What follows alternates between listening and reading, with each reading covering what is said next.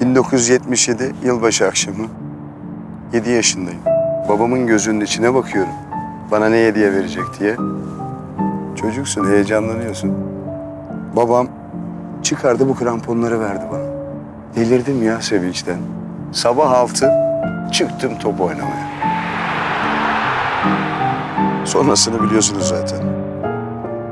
Bir hediye bir hayat değiştirir. Sen bu yıl kime ne hediye alacaksın?